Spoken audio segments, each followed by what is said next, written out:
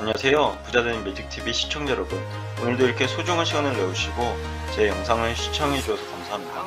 오늘은 2022년 7월 24일 늦은 저녁 시간입니다. 오늘 나눌 주제는 금융감독원에서 발표한 금리 인상기 슬기로운 금융생활 두 번째 시간인데요. 정보는 돈, 일반 금융 소비자에게 도움이 되는 정보에 대해서 한번 알아보겠습니다.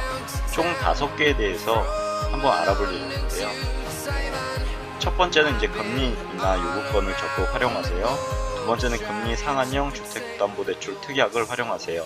세 번째는 파인의 금융상품 한눈에를 이용하세요. 네 번째는 금융회사의 꺾기, 영업행위에 적극 대응하세요. 마지막으로 은행별 취약차주 지원 프로그램을 활용하세요 라는 내용으로 한번 확인해 보도록 하겠습니다. 어, 정보는 돈, 금리나 요구권을 적극 활용하세요 보시면요.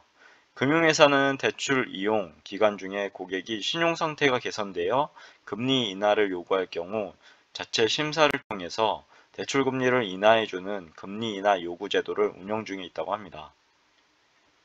팁을 보시면 승진 또는 급여 연소득 상승, 그리고 재산 증가, 신용등급 상승 등 차주 본인의 신용상태가 개선되었다고 판단되는 경우에는요, 금융회사에 금리 인하 요구를 해서 대출이자, 대출 이자에 대한 부담을 완화할 수 있는 그런 제도입니다. 체크할 게 두 가지 정도가 있는데요. 첫 번째는 이제 금리 인하 요구권은 신용담보대출, 개인 기업 대출 등 대부분에 적용되나 채무자의 신용 상태가 금리 산정에 영향을 주지 않는 대출, 별도의 협약 대출이나 정책자금 대출 등은 제외된다고 합니다. 그리고 두 번째 체크할 부분은 금융회사가 금리 인하 심사에 필요한 서류의 제출을 요구하는 경우도 있고요.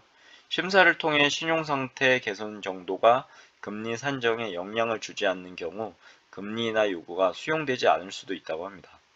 사례를 보시면 최근 취업에 성공한 A군은 취업 준비 기간 중 생활비 대출을 받았는데요. 최근 금리가 많이 올라 부담스러운 상황이었다고 합니다. 그러나 취업으로 인한 소득 증가 시 금리 인하 요구가 가능하다는 사실을 알게 된 후 은행에 금리 인하 요구권을 행사해서 이자, 부담, 이자 부담을 덜게 되었다고 합니다. 사례 두 번째 보면 장기간 대출을 연체 없이 상환해온 직장인 B씨가 있었는데요. 최근 CB사에 신용평점이 개선된 사실을 알게 되었다고 합니다. 신용평점 상승을 은행에 알리고요. 금리 인하를 요구해서 대출 금리를 인하받았다고 합니다. 혹시나 두 경우에 해당되시는 저희 구독자분이나 시청자분이 계시다면요. 꼭 한번 알아보시고 금리 인하 요구를 해보셨으면 좋겠습니다. 두 번째로 이제 금리 상한형 주택담보대출 특약을 활용하세요 라는 내용인데요. 은행권은 2022년 7월 15일까지 판매하기로 했던 금리 상한형 주택담보대출 상품의 판매 기간을 다시 연장했다고 하고요. 일부 은행은 가입자의 혜택을 확대하기 위해서 금리 상승, 제한 폭 및 가입 비용을 인하하는 등 상품 구조를 개선했다고 합니다. 아래 보시면 구분돼 있어서 종전과 개선, 은행별로 상이하니까요. 한번 보시면 좋을 것 같은데 금리 상승 제한폭, 캡이라고 부르죠 보통. 종전은 직전 금리 대비 연간 0.75%포인트, 5년간 2%포인트까지만 인상인데요. 개선 사항 보면 직전 금리 대비 연간 0.45%포인트에서 0.75%포인트, 5년간 2%포인트까지만 인상한다고 합니다. 가입 비용 프리미엄인데요. 종전은 대출 금리의 0.15%포인트에서 0.2%포인트 가산. 근데 개선 사항 보면 대출 금리의 0%포인트 한시적 면제죠. 그리고 0.2%포인트 가산이라고 합니다. 팁을 잠시 보자면 변동금리 주택담보대출을 이용하던 은행에서 기존 대출의 특약을 추가, 별도 심사 없고요. 특약을 추가하는 형태로 금리 상승폭을 제한하는 그런 기능입니다. 제도죠. 체크할 부분이 두 가지가 있습니다. 역시 첫 번째는 변동금리 주택담보대출을 이용 중인 차주는 모두 가입할 수 있고요. 신규로 주택담보대출을 받는 경우에도 가능하다고 합니다. 그리고 어, 두 번째는 상품의 금리 상한폭, 프리미엄 등은 은행별로 상이하므로 자세한 내용은 개별 은행에 문의해 보시면 좋을 것 같습니다. 사례 A 보면 사례를 보면 A씨는 3억 원의 주택담보대출 30년간 변동금리 현재 2.5%고요. 6개월 주기 갱신으로 이용하고 있는데 최근 신주금리가 빠르게 상승하는 상황에서 조만간 금리 갱상, 갱신을 앞두고 있어 걱정이 많았다고 합니다. 은행 창구를 찾은 A씨는요. 향후 6개월간의 금리는 기존 대비 1%포인트 인상 2.5에서 3.5%가 될 예정이라는 내용과 함께 금리 상한형 주택담보대출에 가입하는 경우 특약, 프리미엄만큼 금리, 금리가 인상 0.2%포인트죠. 되지만 A씨가 같이 큰 폭의 금리 인상이 예상되는 경우 금리 상승폭 제한 최대 0.75% 하는 것이 유리할 수 있다는 상담을 받았다고 합니다. 그래서요. A씨는 금리 상한형 특약을 가입하게 되는데요. 시중금리 상승세가 지속되어 다음 갱신 시 6개월 뒤죠. 금리가 또 1%포인트 인상되어 가입하지 않는 경우 대비 최초 6개월은 0.05%포인트, 이후 6개월은 1.05%포인트 대출 이자를 절감할 것으로 보인다고 합니다. 그리고 이어서 파인의 금융상품 한눈에를 이용하세요 라는 부분인데요. 금융감독원은 금융기관이 판매 중인 예적금 상품과 대출 상품의 금리 수준과 거래 조건 등을 비교 공시하고 있었다고 합니다. 팁을 보시면 금융감독원의 금융소비자 정보 포털 파인의 금융상품 한눈에에서 예적금 및 대출 상품을 쉽게 비교 가능하고요. 은행, 저축은행이 판매 중인 주요 예적금 상품 및 은행, 저축은행, 보험사, 여신 전문회사가 판매 중인 대출 상품의 금리 수준 등을 쉽게 비교하여 확인 가능하다고 합니다. 여기도 체크가 할 부분이 두 가지가 있는데요.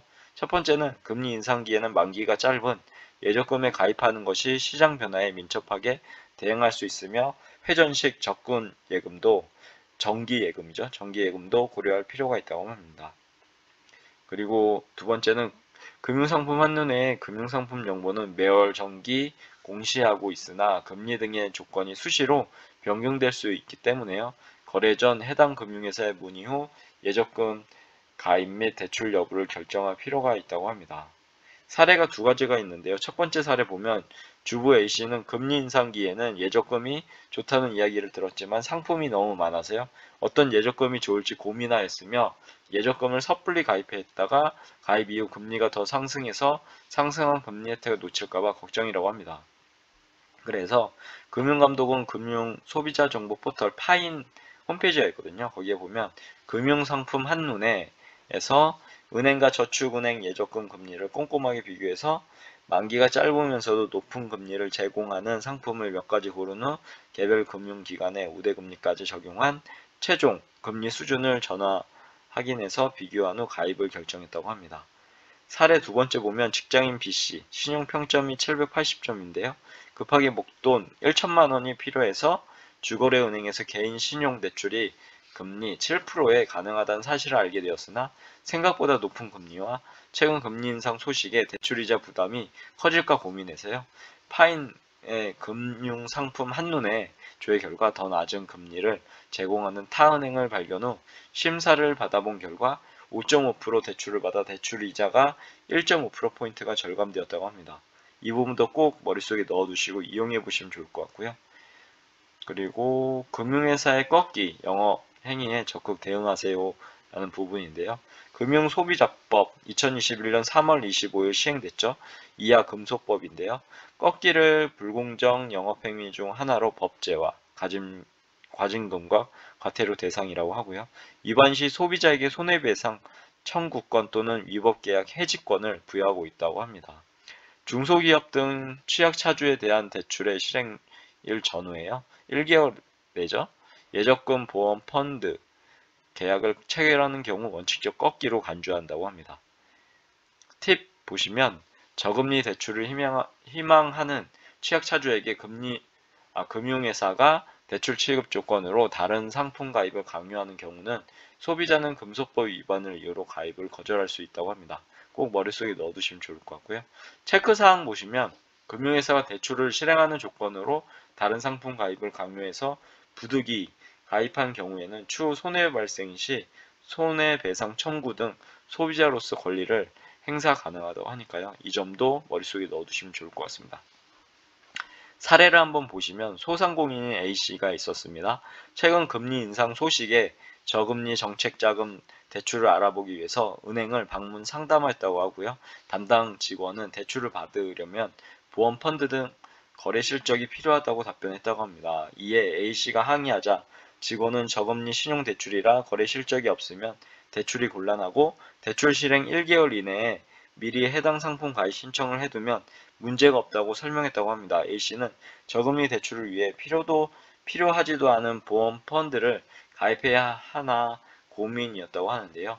보시면 대출 계약 체결과 관련해서 소비자의 의사에 반해서 다른 금융상품 계약 체결을 강요하는 행위는 대출 실행 1개월 전에 상품 가입을 했더라도 금소법 위반 행위에 해당될 소지가 있다고 하고요. 가입을 거절하거나 추후 손해배상 청구 등을 행사할 수 있다고 하니까요. 이 점 또한 머릿속에 넣어 두셔야 되겠죠.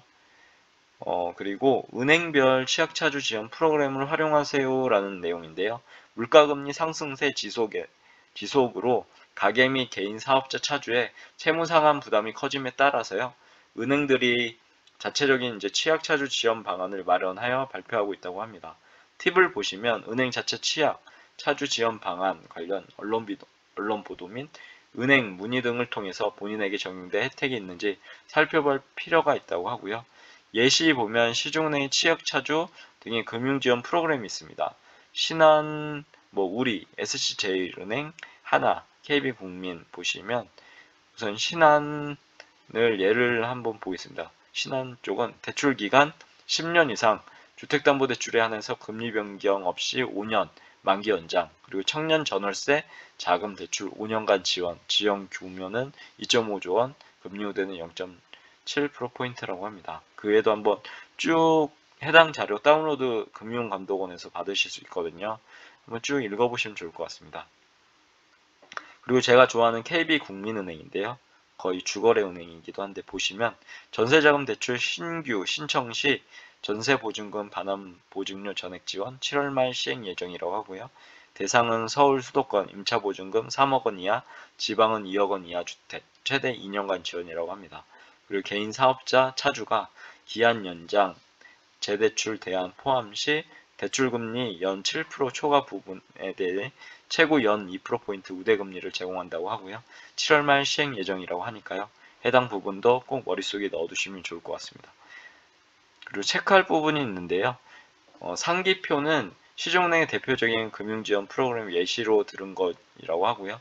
지방은행, 특수은행 및 인터넷은행도 유사 프로그램이 있을 수 있으므로 은행에 꼭 문의하셔서 확인할 필요가 있다고 합니다. 아무튼 오늘은 정보는 돈이라는 그런 섹터로 한번 어, 저와 함께 공부해 보셨는데요. 저와 함께 어, 공부해 주셔서 진심으로 다시 한번 감사드리고요.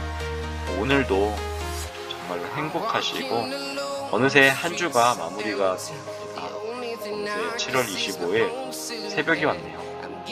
오늘 월요일 어, 걱정 근심 없이요 행복하게 출근하시고 퇴근하시는 하루 되길 진심으로 기원하겠습니다. 오늘 영상은 여기까지고요.